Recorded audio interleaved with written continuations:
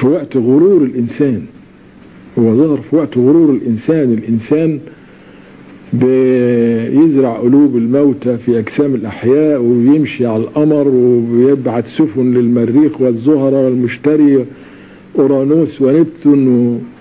وبيعمل هندسة وراثية يخلق فيها وظائف جديدة للميكروبات ويعمل لي أطفال الأنابيب. الله ده قدر بقى.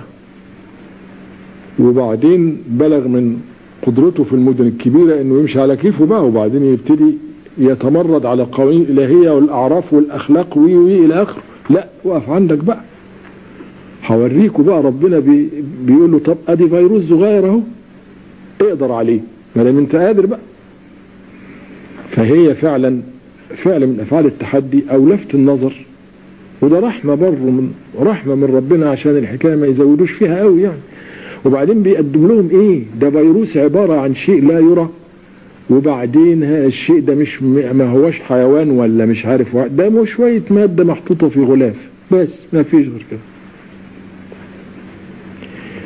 وبعدين ربنا سبحانه وتعالى بيقول بطريقة أخرى إن الصحة بيعلمنا يعني من خلال الحكاية دي إن الصحة ليست أمر رتيب عفوي. ابدا الصحة نتيجة نظام أنا عامله. نتيجة تقنيات في الجسم ونظم دفاعية وخلايا مناعية.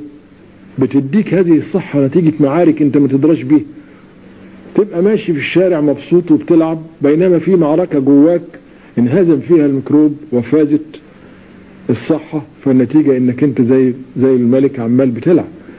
مش داري إن في نعمة حصلت طول الوقت. يعني الصحة ما بقتش بقى. يعني matter of fact يعني أمر كده رتيب عفوي بيحصل من نفسه. لا ده بيحصل بتدخلي أنا أنا. ربنا بيقول أنا رب العالمين أنا اللي عملت ده. فيك. حطيت هذا الجهاز المناعي بحيث إن تحصل جواك معارك وأنت ما تدراش بيها. لكن في النهاية أنت تنقذ كل يوم من آه ملايين وآلاف الأخطار اللي كان ممكن توديك في ده بدليل شوف بقى المرض ده بعد بقى ما يتهدم المناعة شوف بيجرى إيه بقى. تبص تلاقي الجسم يطلع في دمامل وخراريج وقرح واسهال يقضي عليه وإنفلونزا تجيب أجله. مصايب يتحول الجسم إلى مزرعة آه ميكروبات. آه أنا بقى عند حاجة يمكن أهم من دول كلهم. هو التركيب العجيب للفيروس ده. يعني الفيروس ده ملوش لا دماغ ولا رجلين ولا إيدين ولا هو خلية ولا هو بروتوبلازما ولا هو. ابدا ده حتة مادة اسمها الجينات الوراثية اللي هي دي إن إيه ولا آر إن إيه ولا ملفوفة في غلاف وخلاص. إيه ده؟ وبعدين إزاي يبقى ال ال ال ال ال له هذه الصفات؟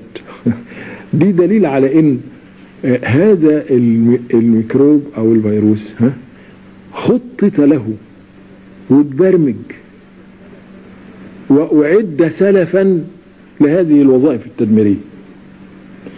وعشان كده لما بيجي الجماعة الأمريكاني يصفوا هذا الميكروب بأنه هو ذكي أمكر ميكروب عرفناه. ده وصف غلط. ذكي إيه ولا ذكي إيه وماكر إيه وده هي حتة مادة جوه الغلاف. فربنا بيضرب أمثلة. قال لك ده الأنبياء بتوعي.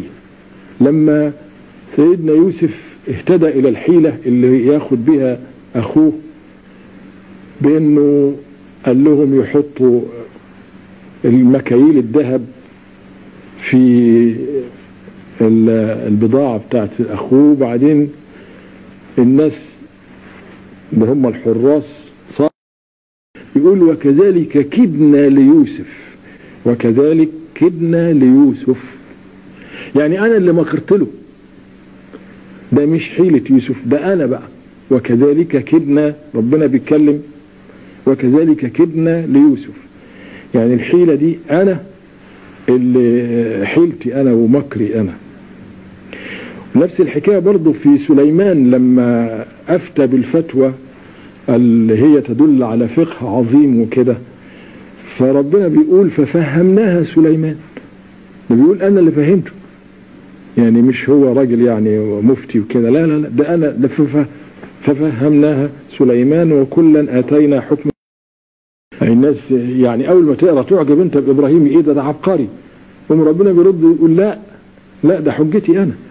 وتلك حجتنا آتيناها إبراهيم على قومه.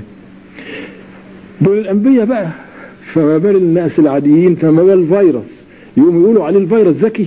ذكي إيه؟